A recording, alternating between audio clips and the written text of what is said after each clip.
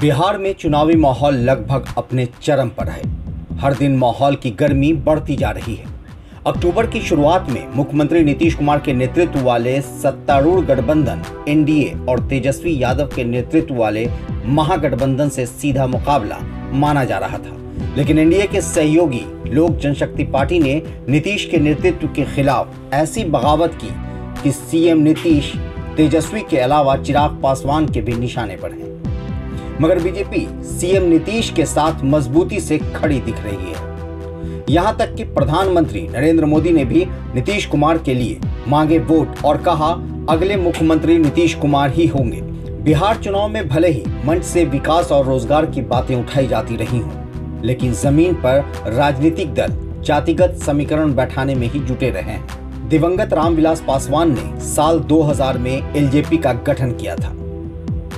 मगर नीतीश कुमार ने 2005 में सत्ता में आते ही सबसे पहले महादलित योजना का सूत्रपात किया। नीतीश ने पासवान जाति को छोड़कर दलित मानी जाने वाली अन्य 21 उपजातियों के लिए महादलित कैटेगरी बनाकर उन्हें कई सहूलियतें दी। महादलित जातियों के कल्याण के लिए एक आयोग का भी गठन किया गया। साथ ही बिहार महादलित विकास मिशन की स्थापना की। महादलित समुदाय से आने वाले को तीन डिसमल लगभग 1300 वर्ग फीट ज़मीन की व्यवस्था।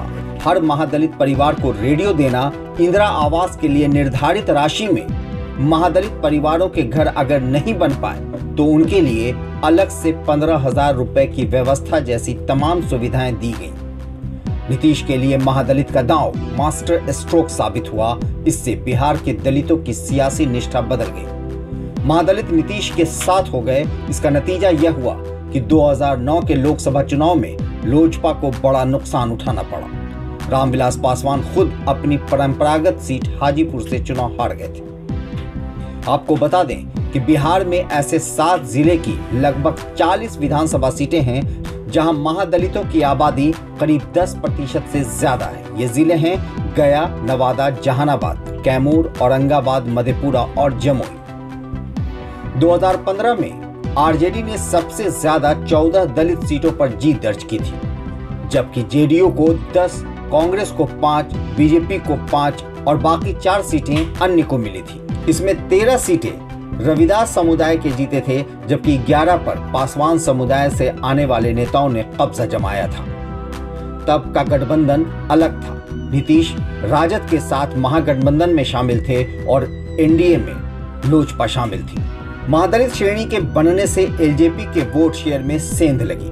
2015 में सीएम नीतीश महागठबंधन का हिस्सा रहे, वहीं 2017 में बिहार के राजनीतिक समीकरण बदले और नीतीश कुमार ने दोबारा एनडीए में वापसी की। इस दौरान उन्होंने पासवान समुदाय को भी महादलित का दर्जा देकर सभी 22 दलित समुदाय को महादलित समुदाय में शामिल कर दिया। इस चुनावी अखाड़े में जहाँ लोजपा सुप्रीमो चिराग पासवान अकेले चुनाव मैदान में हैं और सीएम नीतीश एनडीए में तो वहीं तेजस्वी महागठबंधन के नेता हैं। वहीं इस चुनाव में दो और गठबंधन हैं जिसमें एक को लीड कर रहे हैं पप्पू यादव तो वहीं दूसरे को उपेंद्र कुशवाहा। यानी चार गठबंधन है और पांचवा महत्वपूर्ण धरा है लोजपा का। ऐसे में देखना है कि बिहार की जनता आने वाले समय में किसके सर पर जीत का ताज रखती है। लाइव सिटीज़ से मैं शादाब मलिक। देखते रहे हमारा वीडियो। हम देते रहेंगे बिहार राजनीति से जुड़ी जानकारियाँ। अगर आपने हमारे यूट्यूब चैनल को सब्सक्राइब नहीं किया तो ज़रूर कर लें। साथ ही फेसबुक पेज को लाइक करना ना भूलें।